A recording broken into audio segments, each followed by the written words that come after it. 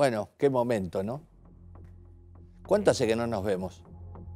Años, pero no nos vemos en persona, pero hablar siempre hablamos, vos y yo. Tenemos una amistad de muchos ¿Hubo algún años. motivo para que nosotros no, no nos hubiéramos cruzado, hubiéramos charlado en un café? O... Bueno, un poquitito sí, porque cuando sucedió todo esto, que si bien yo doy fe, siempre digo que la realidad supera la ficción ampliamente, y es así. Cuando surgió todo esto, que, que fue, fue Beatriz la que te pidió ese favor, eh,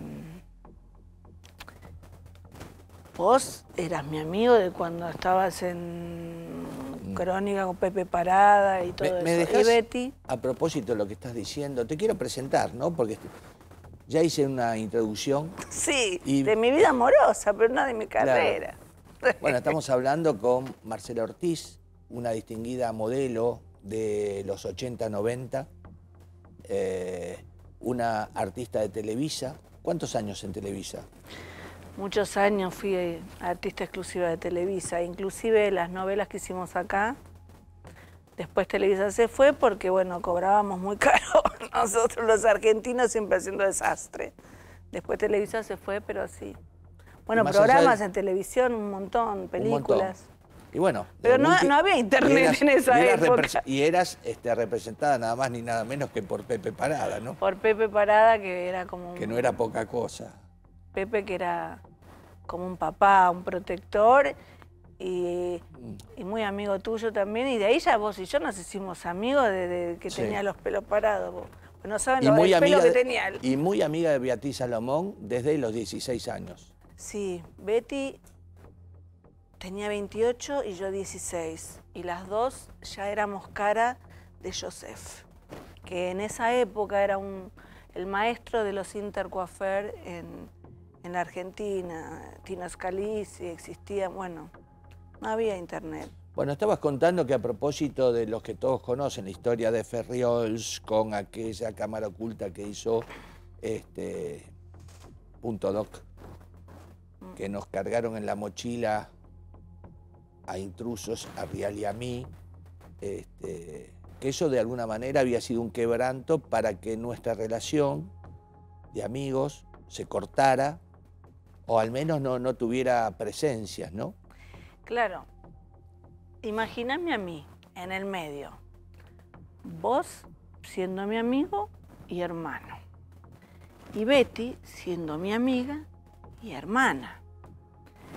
Entonces era un cortocircuito que tenía constante, yo con Betty, que en ese momento, ¿Con Betty sola? Y sí, con vos nunca tuvimos cortocircuito porque seguimos hablando. No, no, conmigo no, pero a lo mejor con hubo vos quise gente, hacer que se arreglen. gente que haya incidido en sus decisiones, ¿no? Sí, claramente. Sí, sí, porque ella cambió de golpe. Pero bueno, eh, sí, es una lástima y siempre, ¿por qué doy, doy fe de lo que sucedió? Porque, les guste o no, a mí nadie me puede refutar lo que yo sé y estuve ahí y viví en los más de 40 años de amistad y de hermandad. De hecho, eh, yo quise. Vos fuiste un hombre muy de palabra, te quedaste callado, ¿eh? Te quedaste callado. Y bueno, yo también. Porque la verdad la sabíamos todos los que habíamos estado en la historia, comenzando por Beatriz. Bueno, Entonces, pero- si ella tomaba otro lugar, yo que iba a salir a desmentir para que me siguieran pegando en la cabeza, dije, abandono, listo, ya está. Después la justicia hizo el resto, ¿no? Igualmente. eh, Pero convengamos una cosa. Eh, dos veces antes, dos veces estuve a punto de que se arreglen ustedes dos y después ahí había alguien que hacía retroceder. Una persona. Sí. Re- hacía retroceder porque estaba convencida o porque quería dinero. Y no sé, pero Betty era influenciable. Era influenciable. Yo la, la- la adoré, sabes que fui incondicional, estando o no a favor. Porque En una amistad vos aceptás la persona tal cual es. Y fue una vida, casi medio siglo, ¿entendés? Entonces... Y, te pregunto, ¿te sorprende lo que pasó con Betina y las declaraciones posteriores de Noelia, las dos hijas de Ferriol, las dos hijas de Beatriz? Vamos por partes. Em, lo que hizo Betinita, que yo la adoro, siempre fue especial. Convengamos y que la gente sepa, Betina es la que hizo la denuncia en contra de su propio padre. Sí. Vos me dijiste si me extrañaba, me lo preguntaste ya el sábado pasado y te dije que no. Que no me extrañaba.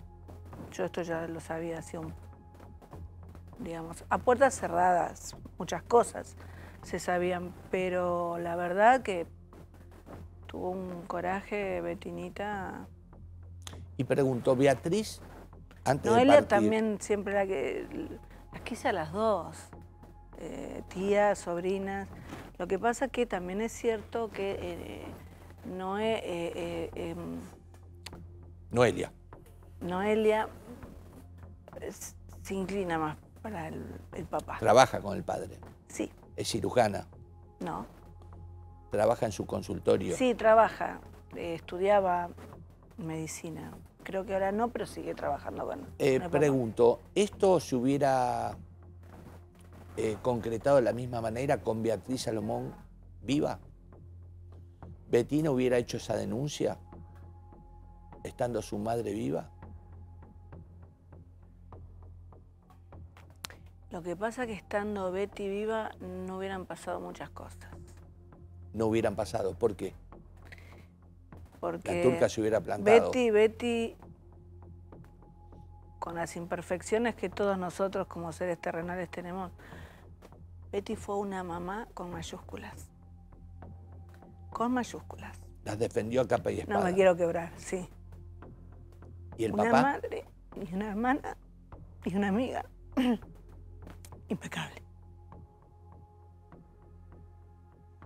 ¿Y el papá? Eh, el, papá estuvo ausente todos esos años. O sea, no, no, no, no. No tenía presencia más que. más que cuando eh, transfería el, eh, el, dinero que él transfería, ¿no? Que no le alcanzaba a Betty.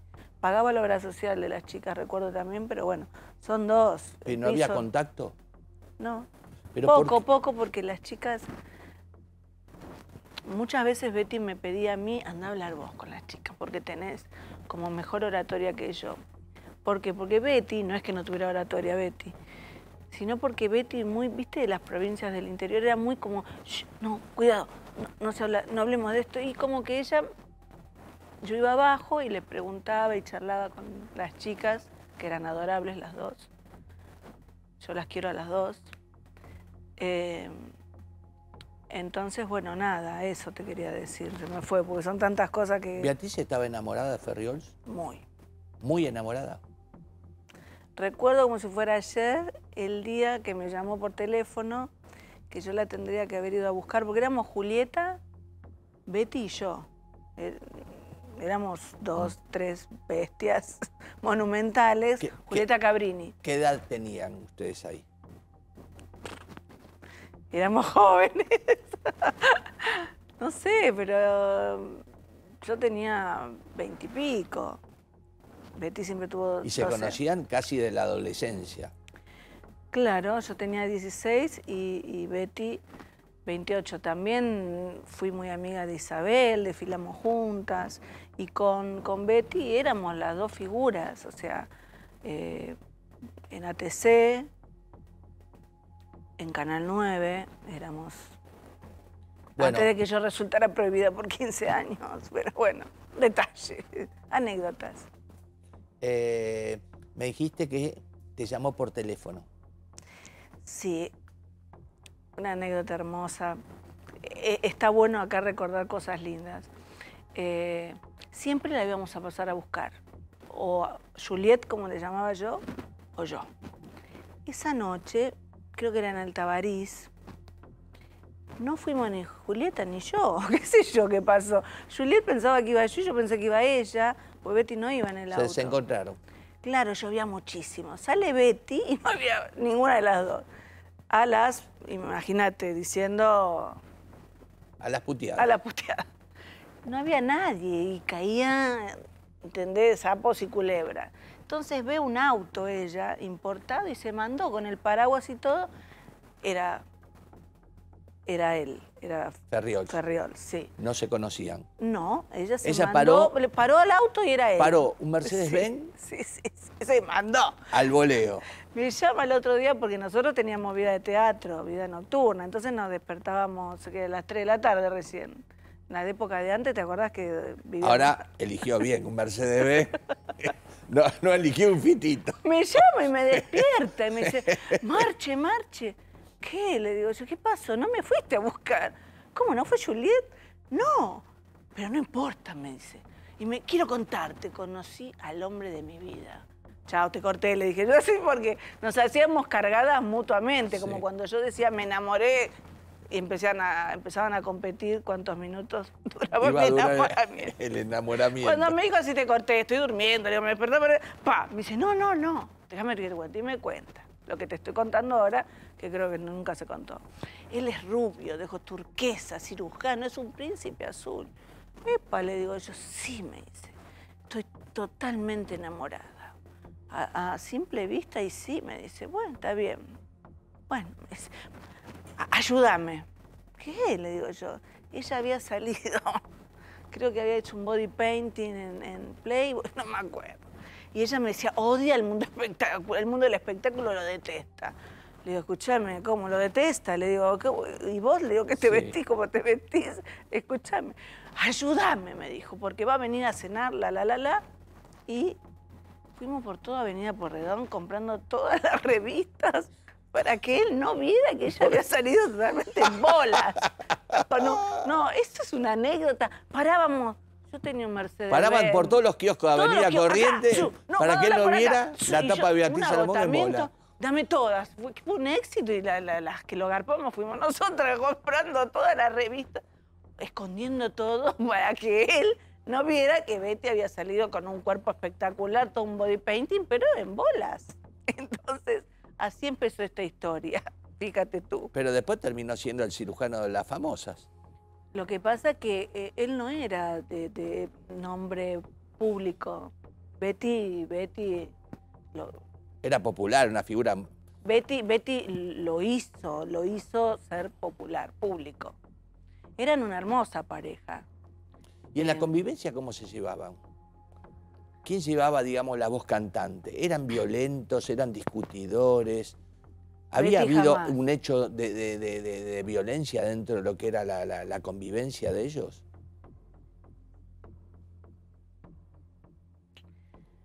Perdón, no responda. Ya con ese silencio no fue me está un diciendo. hombre perfecto, pero no fue un hombre perfecto. No nos quería a Julieta y a mí. No quería a ningún, nadie que fuera amigo, no sé si era, era muy posesivo. Pero era muy educado y simpático. Conocimos a la hermana, un ser adorable, abogada. Pero seguí sin responderme. ¿Qué querés que te responda? No, no fue un hombre perfecto. ¿Fue violento con Beatriz? Muchos años después, eh, le costaba mucho a Betty decir las cosas, así como se la veía, porque traía una historia de una familia fuerte por parte de la mamá de Betty, era brava, nos tenía cagando a todas. Era brava Leonor. Este, entonces no era, era, era, era muy sumisa Beatriz en, en los afectos. Parecía que en la relación ella era la que tenía la voz cantante. No. Betty tenía su personalidad, pero ella estaba enamorada, la familia, él, papito, todo. eh, Ella vivía para él, eh, la cocina, que no faltara nada. Él era, él era amoroso en ese entonces. Después, bueno, eh, han sucedido. Al punto, te digo, al punto de la denuncia de Betina años después. Es decir, Lo que a ver, pasa, lo Luigi- que vos me contás si yo lo uno a esta denuncia de Betina, tiene como una referencia entonces. Quiere decir que Betina no, no fue la única. Digo, ¿eh? Te estoy preguntando.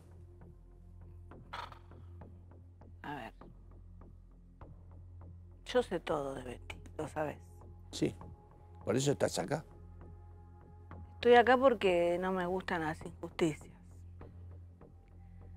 Entonces, y tengo el coraje. Para... Siempre lo tuviste, Marcela. Viste, pero toda la mujer. ¿Qué ha significado hasta internaciones?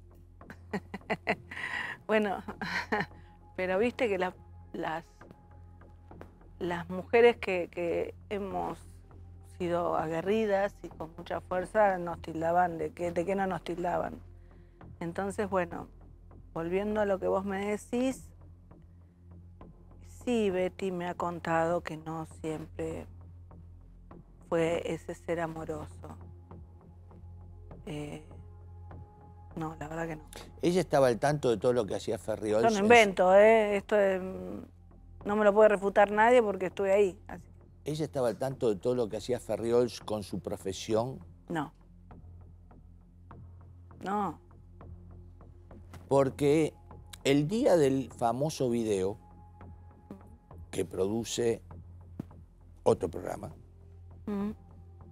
Eh, a mí Betty me llama por teléfono pidiéndome, por favor, bueno, porque... que venir a intrusos para aclarar algo que seguramente iba a ser su marido, que era un cirujano casado con una famosa vedette. Y dice, es Alberto y soy yo y lo van a denunciar por la habilitación del quirófano. Quiero ir con las autorizaciones municipales. Eso es lo que me dice, me dio la impresión como que ella protegía y cobijaba a Ferriols en esa postura. Siempre, pero desde el amor, ella, ella lo amó. ¿Y qué pasó después del video? Porque yo la vi en ese momento entera. Muy nerviosa, pero entera. Se fue entera. Es más, con el programa y conmigo estuvo bien después del programa. Dos semanas, tres semanas, incluso nos hablamos por teléfono, hicimos notas. Lo sé. Y de buenas a primeras, ¿viste? Lo sé, todo lo que me digas lo sé. Pero por eso, me llamó la atención eso.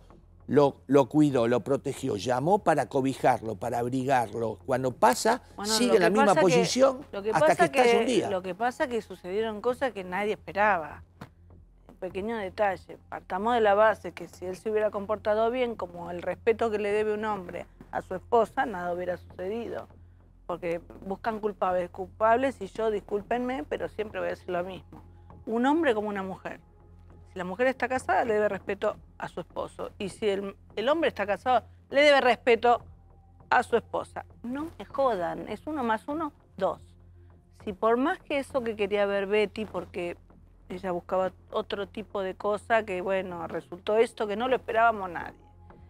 Eh, él se hubiera manejado bien, entonces vamos al núcleo de lo que pasó.